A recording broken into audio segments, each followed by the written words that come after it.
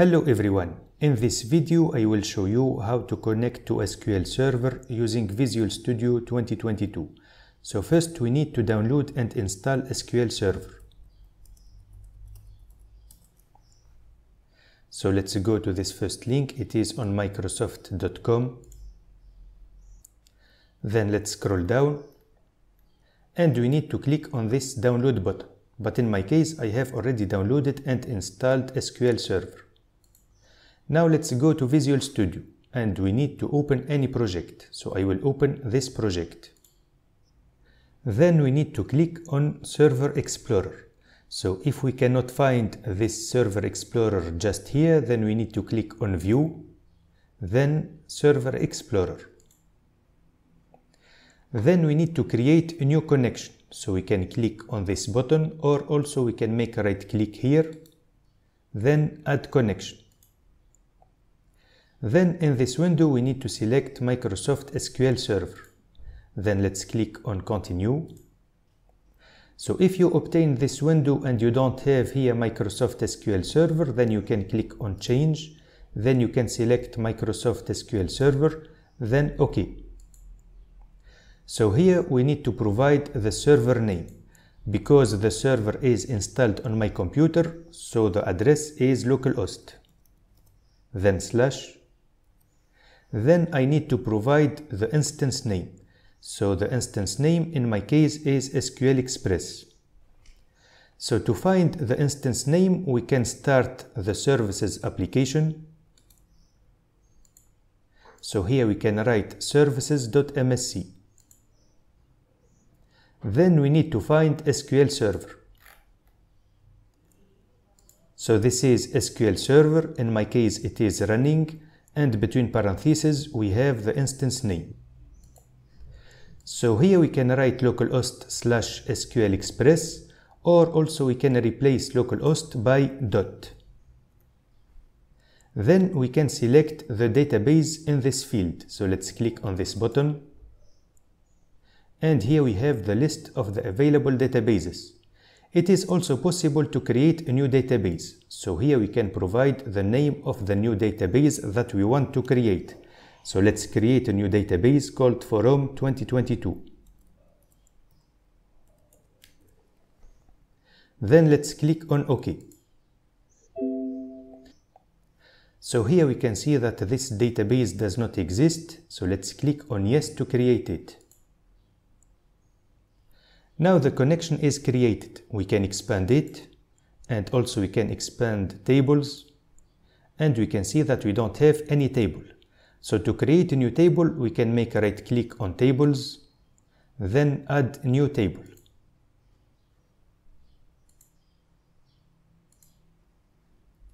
So to change the table name, we can change it here. So I want to create a new table called users. So by default, we have this column. It is called ID and it is a primary key. And also it is of type integer. To make this column auto-incremental, we have to select it.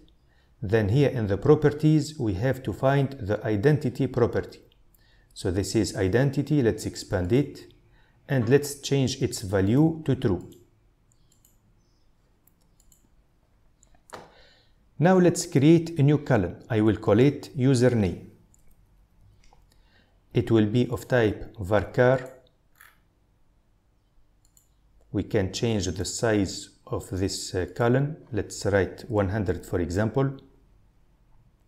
And it should not be null. So let's uncheck this box. Let's create a new column. Let's call it email. It is of type varchar.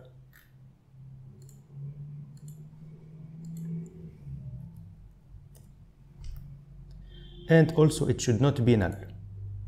So for the email, I want it to be unique. So here in the SQL, I can write unique. Now let's add a new column. I will call it phone. It will be of type varchar. And it can be null. Let's add another column. I will call it register date. it will be of type date time and also I want to provide it with a default value.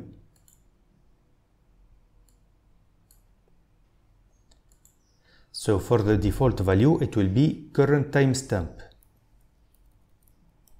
Let's press enter. And now to create this table we can click on this update button. Then let's click on update database and the table has been created successfully. So to find the table in the Explorer, we can make a right click, then refresh. So here we can see that we have this table. Let's close this page. So to see the data of this table, we can make a right click, then show table data. So here we can see that the table is empty and we can insert some rows. So to insert the rows, we don't need to provide the ID because it is auto-incremental. Also, we don't need to provide the register date because it has a default value. So let's provide the username. Let's write, for example, Bill Gates. Then let's provide the email. Then the phone number and let's press enter to insert the row. So here the row has been added and we can see that it has an ID and also it has a register date. Now let's add new rows. Let's press enter. Let's add another row. And let's add a last row.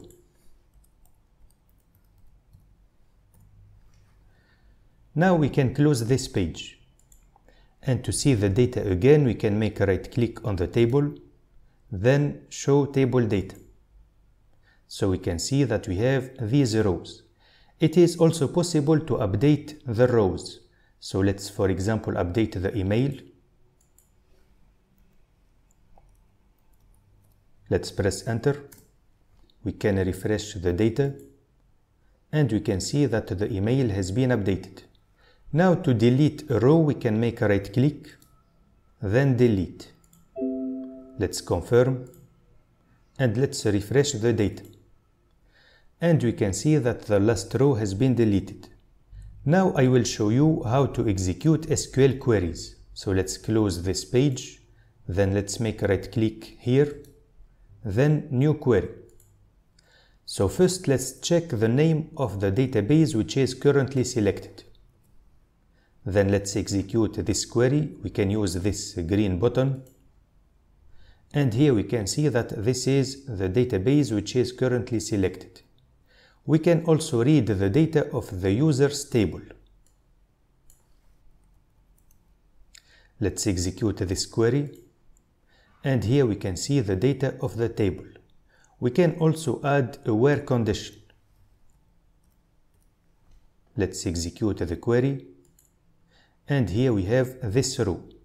We can also use this interface to create a new table. So let's remove this query and let's paste the query that allows us to create a new table. Let's execute this query and we can see that it has been executed correctly. Now let's refresh the tables and we can see that we have this new table. It is also possible to add new columns into any table. So for example, let's add new columns into the users table. Let's close this uh, page.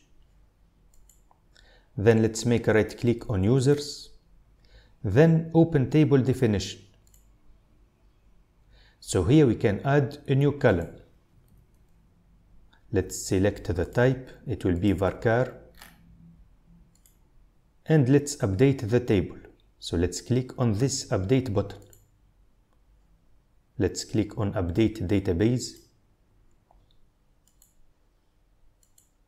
We can also delete a table. So let's make a right click on this table, then delete.